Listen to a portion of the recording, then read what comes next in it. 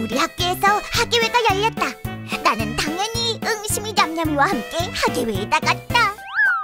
학예회 최고 스타!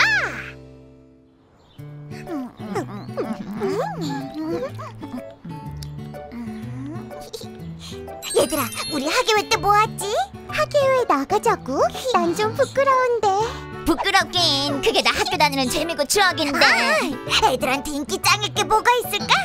글쎄 음, 걸그룹 댄스 어때? 걸그룹 댄스? 그래 다들 우리 셋 보고 걸그룹 같다고 하잖아 누가 언제? 나는 그런 말 처음 듣는데. 아 어떤 애들이 그랬어 암튼 우리가 걸그룹 댄스 하면 반응이 엄청 날 거야 생각만 해도 떨린다. 우리 이름도 정할까? 반지와 친구들.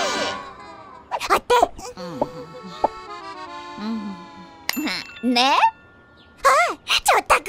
아니 넵 어떠냐고 냠냠이의 N, 응심이의 E, 반지의 B 합해서 N-E-B 넵 오, 응심이 천재. 그래, 귀에도 쏙 들어오고. 넵 마음에 드나요? 네.